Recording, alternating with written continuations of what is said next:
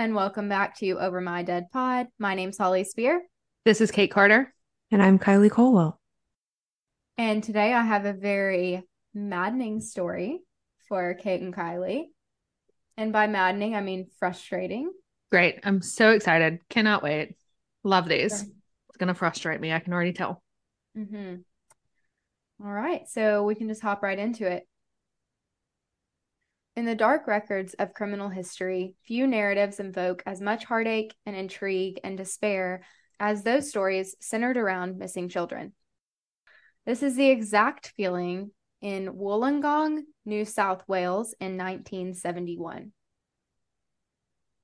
Wollongong, New South Wales is a city located in Australia. It lies on a narrow coastal strip. There are narrow coastal plains and a continuous chain of surfing beaches and rainforests. This is where the Grimmer family lives. The Grimmer family is a young family, and the mother, Carol, is 26, and the father, Vince, is 24. And they have three sons Ricky, Stephen, and Paul. And the brothers are seven, five, and four. And the youngest one is Cheryl, and she's only three years old. So the Grimmer family was originally from England, but they have just moved to Wollongong. So today in Wollongong, it is 1970 and it is a hot January day in New South Wales. But the Grimmer family lived right across the street from Fairy Meadow Beach. And the four little Grimmer children were desperate to go to the beach. Carol, their mother, was skeptical, but Ricky nagged his mother. They were new to the area and they had just moved in, and there was a nice, huge beach across the street for them to go and play at and take advantage of. So Cheryl eventually gives in and she takes her three children down to the beach. The family has a normal day. They take photos, build sandcastles, and splash around in the water. The children look back and remember not wanting to go too deep in the water. Um, Ricky, the oldest, remembers being skeptical of the beach. They had just moved from a place that had no beaches to acclimating to this new beach life. There were many families on the beach today, and it was very crowded. It was turning out to be a cute family outing in their new little town. It was not long after that a small storm rolled in off the coast. And they called this storm in the material that I was looking at a summer gust or something like that. So I don't know if you Florida people knew. Like it's like a storm that rolls in, but it's just like big gusts of wind. But it didn't sound like it was like raining or anything, but just like crazy gusts of wind that like blows everything. That sounds like a tropical storm coming. The wind began blowing the beachgoers' umbrellas. Things are rolling down the beach. It's just like pandemonium. Sand's blowing around, and everyone at the beach just starts hurriedly packing up all of their belongings and kind of seeking shelter because they have all of their stuff, you know, all the things you take to the beach with you. So it's suddenly crowded as everyone was hurrying up the beach. Carol gathered her kids and her things as fast as she could. She went ahead and told her kids to go ahead, hurry home, and she would finish up gathering their stuff. She would be right behind them. They live right across from the beach, shouldn't be an issue. So Carol asked the oldest son, Ricky, to take care of his little sister, Cheryl. They had to stop by the shower blocks and the bathrooms to wash the sand off of their legs. So, so this is basically a building that some call shower blocks, some call bathroom, shower rooms, whatever. It's basically a little building in between the beach and um, their house. They're kind of the only ones there at this point. So, on the way, the children stop and they grab a drink at the water fountain, which they called the bubbler, which is just so cute. Is that English or like Australian slang? Girl, I don't even know. You know, I I I don't even know what where we're at geography wise, so I don't know. Um it's the bubbler, you know? So Cheryl's not tall enough to reach the fountain, so Ricky lifted his little sister up while she got a drink, and then they kept heading towards the shower. Once the children reached the building, Cheryl ran into the girls' shower room. She was halfway in and like halfway out of the shower room door and was teasing her older brothers by running in and out, peeping at them, knowing that, you know, they couldn't come into the ladies' room. So she's just being a little kid. Like she's kind of halfway in, halfway out of the doorway, like back in, back in, you know, like teasing them. The older brothers are sitting there going back and forth, trying to coax their little sister out. And Ricky, who was the oldest, tasked with being in charge of his little sister, threatened that if she didn't come back out, he was going to go get their mom and she would be in trouble.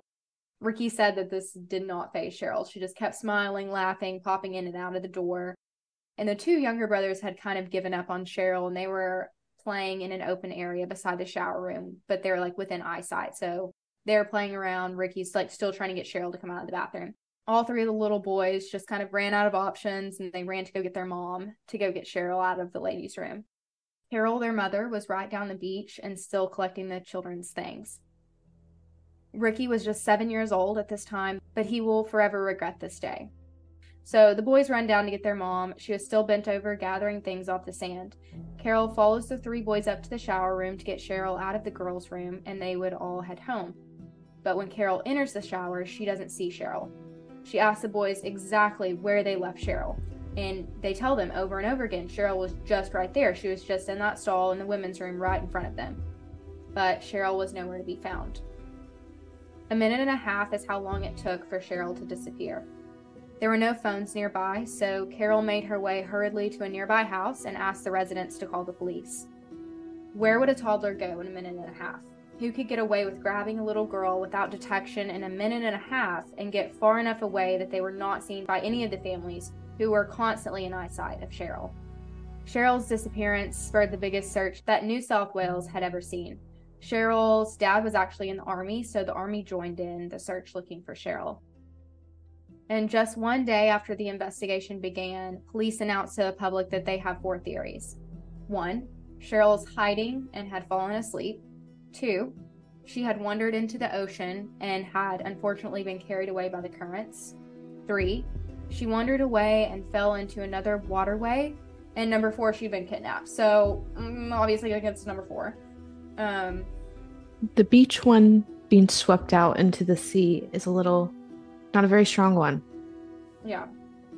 Not that it doesn't happen, but uh if there were tons of people on the beach that day, and plus the kids were watching her come in and out, like it wasn't you would have seen a child run to the water.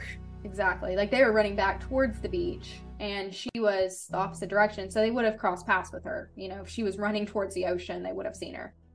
So, yeah. The day of searching turns up literally nothing. No trace, no crumb of evidence that would tell Cheryl's whereabouts.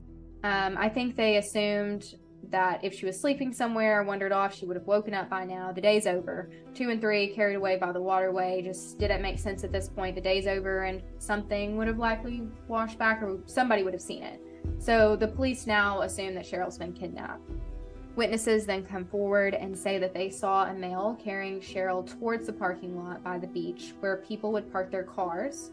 Um, some witnesses say that they saw a teen in an orange swimsuit in the car park holding a fair headed child and that he was seen getting into a white sedan and driving away. Some claim a man was seen holding Cheryl up to drink out of the water fountain and then ran off with her wrapped in a towel. These claims now seem unlikely. Police then announced that they are searching for a blue Volkswagen that was sighted near the scene of the crime.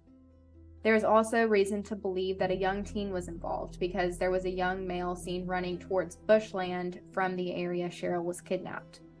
On the third day, the family receives a note. The note demanded $10,000 and stated that the child was unharmed and they would drop the money and they would get Cheryl back. Police believe this to be credible, which is weird because usually they don't seem to think this kind of stuff is credible, but some for some reason they do. And police stage a drop for the money. They prepare the drop, the money in exchange for Cheryl. Police disguise themselves as council workers for the ransom drop. But the purported kidnapper never showed up. Police fear maybe the kidnapper got spooked because of how many people that they sent, but there was never another note sent, and police ultimately were forced to believe that this was a hoax. And by the way, just let me say, like, we run into this a lot in these cases, like fake ransom notes when you find out a kid is missing and people just try to, like, get in on it, which is just bizarre, Horrible. or like jokes that lead somewhere fake in the investigation, making a false police report, like funsies. I don't know what, like, what to call that, but These this kind of thing, ransoms, happen literally all the time. And it blows my mind. Like, wasn't we just had a case the in Long Island, you know, the ones that's currently just got solved, but didn't they have somebody who like tried to put themselves in the situation saying like he I don't remember the exact detail, but it was like people all the time will come into crime situations and just put themselves in it, even though they have nothing to do with the case. Yeah. Oh, okay. Like, what? I don't get it. I don't really see much of them either getting charged with anything. I think we should start charging them.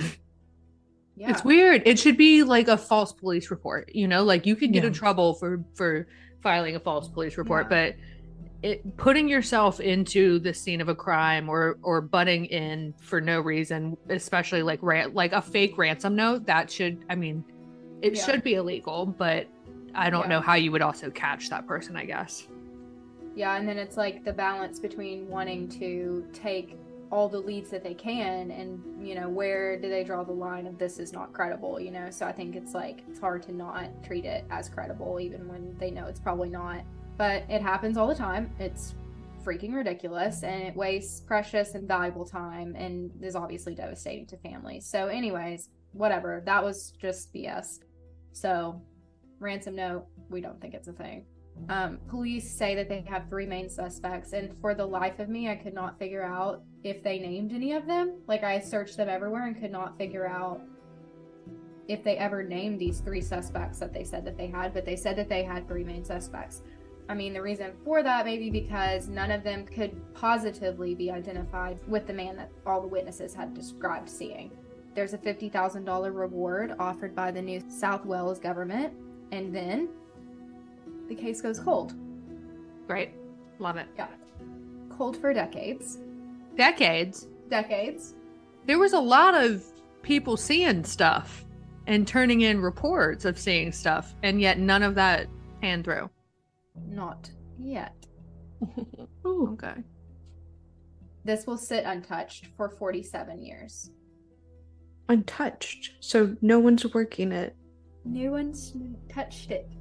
I just tried to do the math in my head. I'm not, I don't, I can't, but 2000s, obviously. Yes. Wow. So, obviously, a lot can happen in 47 years. The Grimmer family, to say the least, was never the same. Just three young boys now, and they're now men in their 50s. And they would later tell 60 Minutes that this day had changed their family forever, obviously. Their mother and father became cold, and it was a harder life for the three boys after that. Their father was very hard on them, and they could tell that kind of the vibe was like, You lost my baby daughter, you know? Above all else, the father kind of blamed Ricky. And the father started drinking too much, and true feelings of blame would kind of come out. It was obvious to the whole family that the boys were blamed for their sister's disappearance. So, fast forward a little bit, not a little bit, a lot of it, to May 2011. A coroner would formally rule that Cheryl was dead and recommended police reopen the investigation. And now remember, we don't have a body or anything but people are pushing for this case to be reopened and they're pushing for it to be open, reopened as a homicide investigation and not a kidnapping. And shortly after the case was reopened, both Mother Carol and Vince would die without knowing what happened to Cheryl. This is when Detective Frank Vitale would be handed Cheryl Grimmer's cold case and make a stunning discovery. Police would call the development a breakthrough, but the Grimmer family would call it something that was blatantly missed. A vital clue that was found just by looking at the old case files. Something that should have been caught and followed up on right away. Something that could have changed the Grimmer's family life. Detective Frank's discovery would show that the possible killer was known all along and living amongst them. He found a confession that had just been filed away in a box. Wait, wait, wait. I'm sorry. So someone It's not funny, but Okay, wait. Is this confession like a self-written one that he sent in or someone recorded this, put it in the file, and then didn't touch it for what, 50 years? It was a full police interview, just filed away. Like, oh yeah, we won't need this. Yeah. Yeah. someone made a mistake. Someone made a big boo boo. Yeah. Multiple people made a big boo boo. That's okay. I'm already frustrated. So, Detective Frank discovers that 18 months after the kidnapping in 1971, a local teenager confessed not only to the abduction, but the murder of Cheryl Grimmer. This 17 year old at the time had escaped from a youth detention center and had been caught and now had confessed his story to, I think, guards of the detention center. police at that time, back in the day, made their way to the detention center to interview this boy. Now, the boy is 17 years old, and his name has yet to this day to be released. He's not So 17 anymore. What? But he's 17 at the time, his name has never been released. So we'll just call him John for the sake of this story. So detectives sit down with John and ask him to recount the murder. This is the very first time that the Grimmer family is hearing about this confession. With everyone else, this is the first time his family's heard about this. They were never told that a man that lived in the same town as them had confessed to the murder of their sister. The family hears the confession for the first time. John came to the beach early that day. He came around from the back of the shower block and grabbed Cheryl. He carried her four kilometers from Fairy Meadow Beach into what was then just farmland. This is a quote I tied a handkerchief with a shoelace around her mouth to stop her from screaming, and with the other shoelace, I tied up her hands. She started to scream, and she would not be quiet. He told police that he took Cheryl's swimsuit and towel with him and dumped the towel in the drain outside of a service station and her swimsuit in the incinerator at a camping ground by the beach. They use this word incinerator um, in the camping spot, but what I kind of think it is is those fire pits that you just throw stuff in. They say incinerator, but he did confess that the ultimate goal was assaulting Cheryl, but when she started to make noise and scream, that's when he tied her mouth and she did not wake up, is what he claims allegedly. So, um, we strangled her. yeah, Okay. he describes the bathing suit in detail, saying that it was royal blue and her towel was white, which is consistent with what she was wearing and what she had that day. He vividly describes where he left the body. It was down Brookers and I'm going to butcher this, but it's Bologany. Yeah, down this road.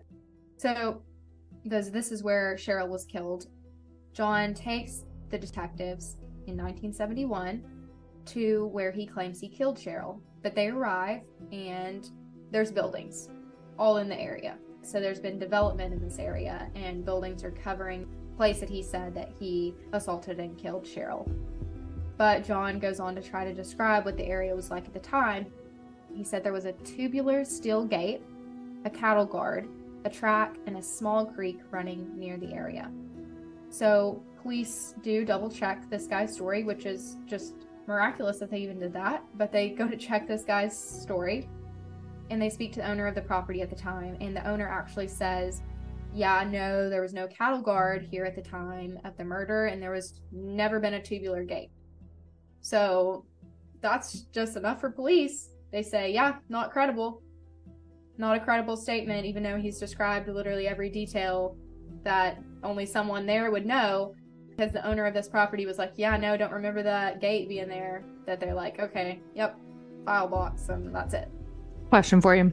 This teenager at the time was he was on the run when he did this Mm-hmm. from a detention center. I I mean, so like for kids that did crime, do we know what he was in that detention center for? You know, I don't know. I assume, well, they probably don't have it because we would we don't even have his name. You know, like True, it's true, not okay. But we know for a fact he was in a detention center for some reason, escaped, and did this while he was an escapee. Yes. Okay. Police just concluded that this confession was false and filed it away for 47 years. 47 years later, Detective Frank would read this confession and is like, wow, wait a second. Like, this guy has a huge level of detail that a false confessor wouldn't have. I mean, we know it's possible for there to be false confessions, but I think at an investigator's standpoint, he knew the details that the public would have known, and he's like, there's no way, you know? It was impossible to give for someone to give this level of detail and not have something to do with the murder.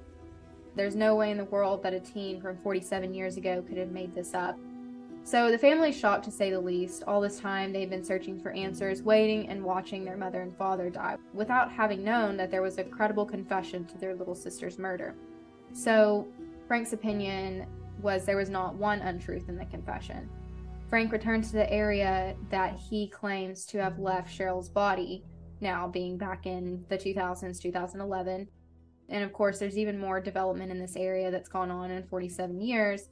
But Frank ends up finding the property owner's son The son contradicts his father's claim and says that he is certain that there was a cattle guard at the time in the exact place that he recalled, and that there was also a tubular gate and a track leading over the creek into the property. So he uh, says he actually remembers the fence being built. Same fence that police used to just dismiss the confession. And police now backtrack. They now find the campground incinerator, where he claims to have burned Cheryl's swimsuit, is right where he said it was and the service station that he ditched her towel was exactly where he said it was. So they're backtracking on all the things they should have done 47 years ago, and they're finding that it is consistent with exactly what he said. Of course, you know, you're not going to find the towel or the swimsuit at this time, but his story's checking out, you know. So here's what seals the deal John describes watching Cheryl have a drink at the bubbler. The interviewer asks, Did the little girl come out with the other children? He replies, Yes. She had a drink at the water fountain Someone lifted her up, I think.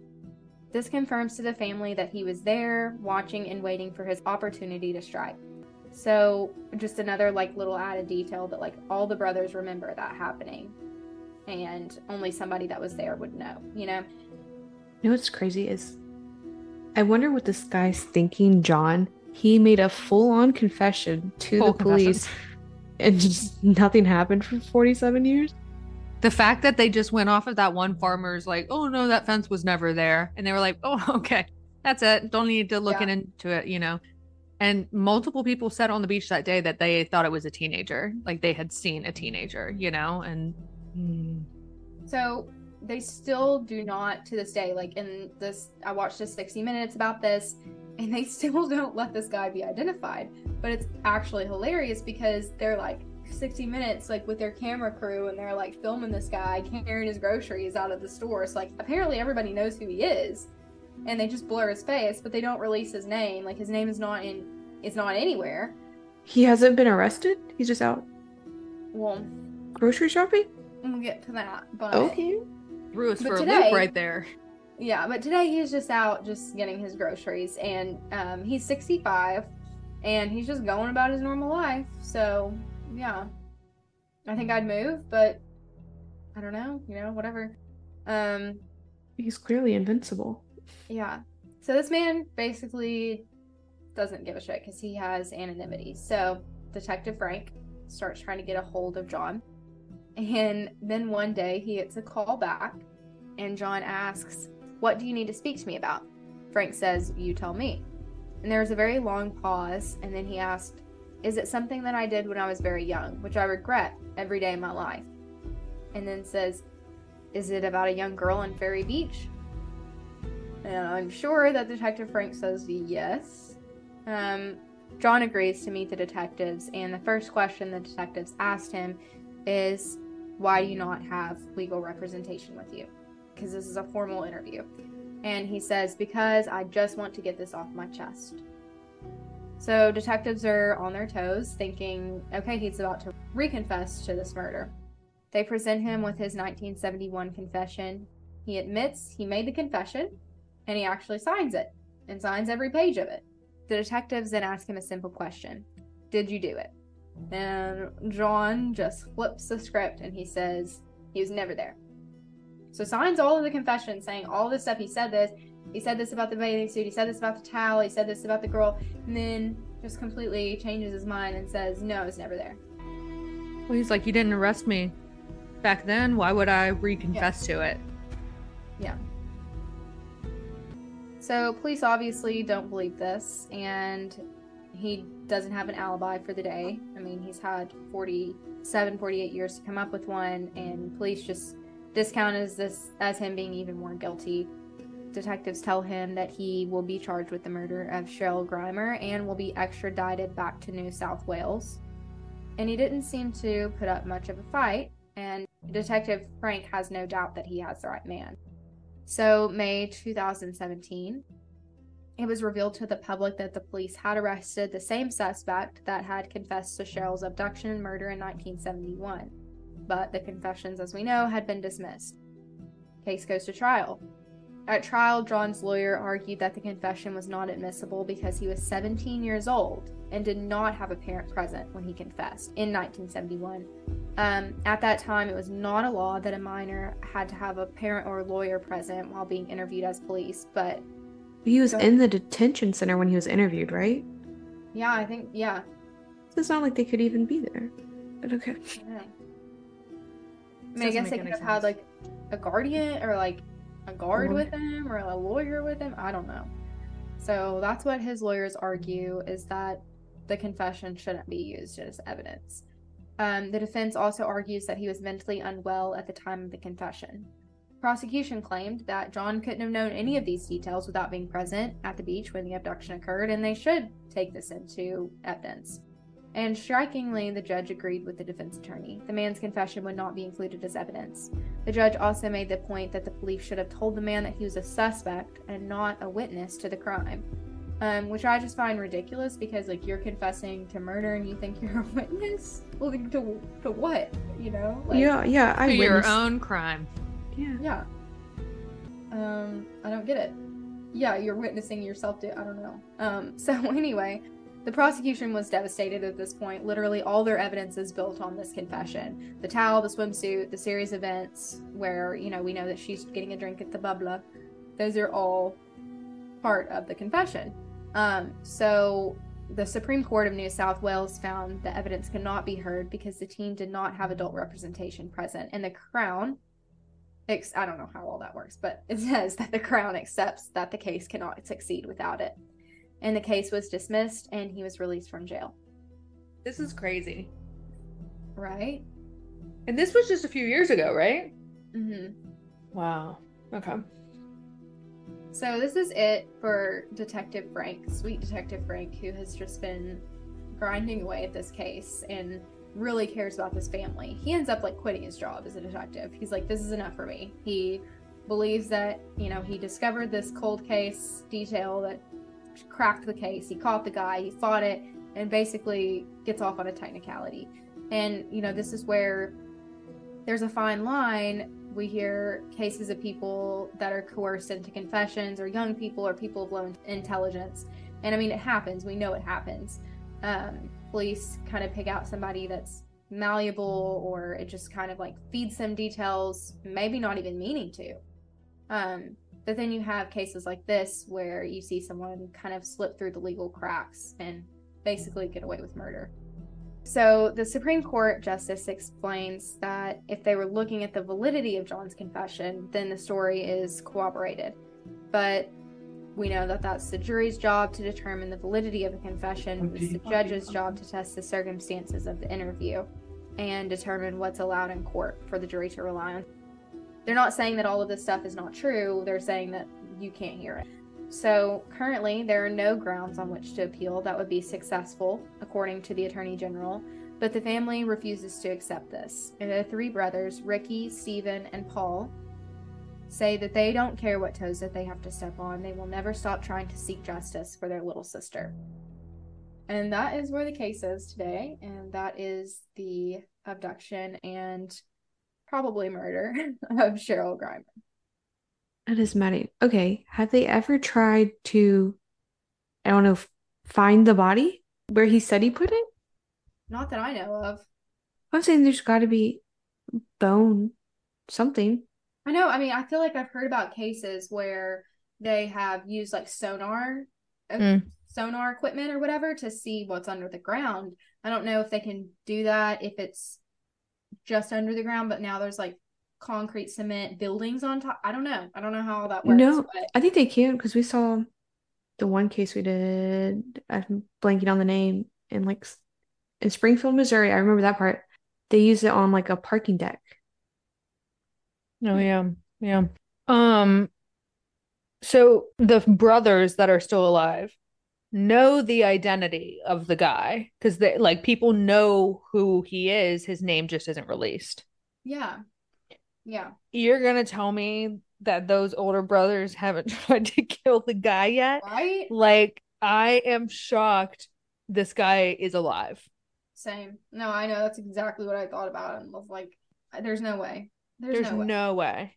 I'd go to hireahitman.com. Yeah. Then call back. They'll call me back.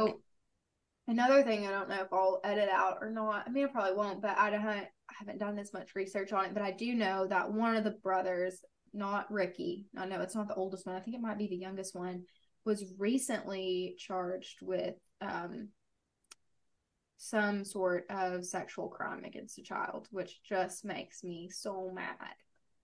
Oh, that's not no bueno. Yeah, That's- I mean, first thing I thought was like, well, where was he? Where was he? You know, was he there the whole time, right by his mom? Like, do we have eyes on him the entire time? But I mean, that's not um, good. no, it's not. But they've apparently all the sources that I did look at when I was reading about that have rolled him out completely and said that you know that he was it couldn't have been him, but No one's charged with this crime. So this is mind blowing. Um, hated the story. Thanks, Holly. I'm gonna be I'm gonna be looking into that down a black hole tonight.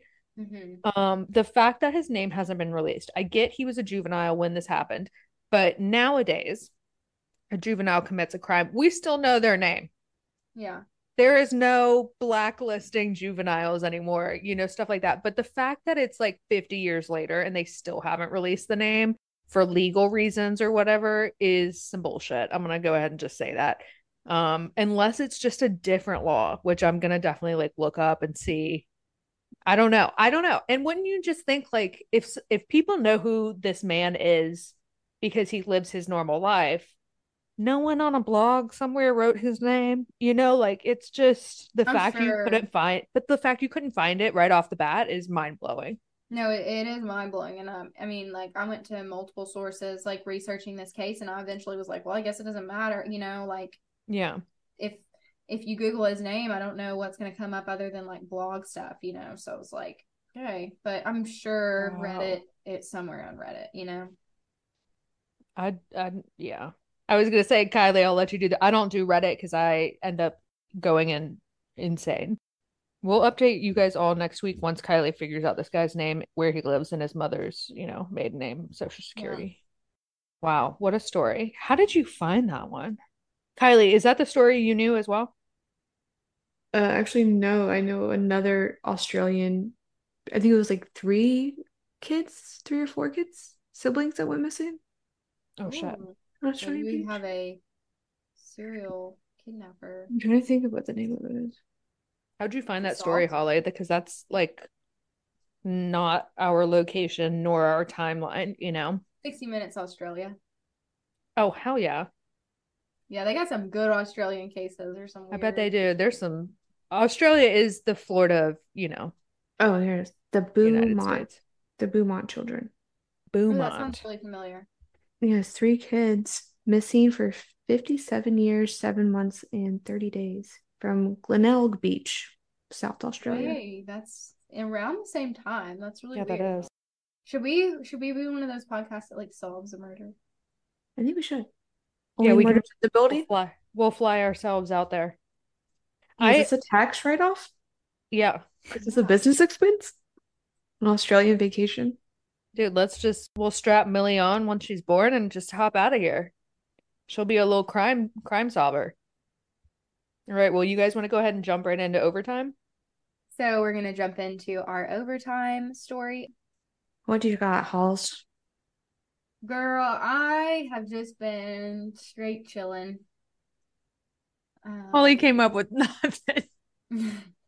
She was like, "I'm just chilling. I'm good." Feeling good. Um, so I think I told y'all that uh Luke and I got our scuba diving certification. Did I tell Oh, you yeah. that? Yeah. Wait, wait, wait. I have a major update for in your life, Holly. You're a Oh, sworn in attorney. Yeah, I didn't forget about that. Um, Like that's what's happened. You were like, where are you going to go with this, Kate? That happened. We, ladies and gentlemen, our own Holly Spear is now a sworn in attorney for the state of Arkansas. Officially licensed. Uh, and Kylie. Is too, but it, uh, we probably said, well, okay. So two of the three of did. us, I think we did, but two of the three of yeah. us are licensed attorney, and the other one is pregnant. So there you go. Life updates. Yeah, I mean, I'm, I know I'm, she I'm she's got all kinds days. of updates that we just like shouldn't ever say. No, we talk about my updates after we hit stop recording. Yeah, and the updates that Kate gives us is like no one should ever hear. She's freaking Welcome to pregnancies. Yeah. She's traumatizing the group. Truly. Yeah. you know, well, you're t- educating us, and then we're just cringing the entire time. Yeah. So get ready to be pregnant someday. That's all I gotta say. Um, If but Kate back has anything to do with it, no one will ever be pregnant ever again in the whole world. Yeah. Love you, the baby girl that's in my tummy. Love you so much. Mommy is going to be the best mommy ever. But uh pregnancy sucks. Yeah. Like Yeah. kudos to all the women that are like, I'm glowing. I want to be pregnant all the time. Like women who have 10 kids, absolutely not. Deranged. Not Deranged. in, not my thing. Um, but back to Holly, licensed attorney. What would tell us the process? What was that like? You went to the courthouse, obviously. Well, she went to law school. So first she applied to law school. Yeah. I had a dream. No, um yeah, I did the little like oath swear in thing, and now I have a little ceremony where I get a little certificate, and then they're like, okay, now give us all the money you owe us, and I do that, and that's it. Wow. But I'm Very super excited. I'm glad it's over with. As Kylie knows, the bar is absolutely a hazing ritual. I'm convinced, and it's terrible and stupid, and it should be abolished. And that's how I feel. But yeah, and but uh, you know, it's so much more fun. I got my scuba diving certificate. I'm, Mm. I'm scubaing now. So Where are you Scooby? Where do you you going in lakes and stuff? Um, y'all, I got certified in a lake. It was hilarious. Got certified at the bottom of a lake, like take your mask off, do all the little tests and stuff, and I couldn't see a damn thing. I mean, it was murky. And these guys, they were giving their scuba lessons, but I really think they were out there so that they could scour the bottom of the lake for like people's like Ray Bans. Dead bodies. Yeah, and, That's like, what I think of. Oh, I know Yeah. that freaks me out. It, it's a weird gig, but we we did it in Cozumel when we went on vacation, and it was That's really cool. awesome. Yeah. And Luke's working on getting his pilot's license now, which I thought Kate would appreciate because her dad is, He's a He is, flight right? attendant now. He's a flight Okay. attendant. He's a flight but he was a but pilot. Yeah, yeah. He had his Yeah. pilot's license. And um really cool, really cool. That's a hefty process. So kudos to him for going, you know, starting that and Yeah, yeah, for sure. peace us out, Holly. And with that, thanks for tuning in to another episode of Over My Dead Pod. If you want even more information, including photos and sources of the case, you can check out our blog, overmydeadpod.com. And be sure to leave us a review wherever you're listening to this and check us out on social media. We will see you next week with another thrilling case. Bye. Bye. Bye.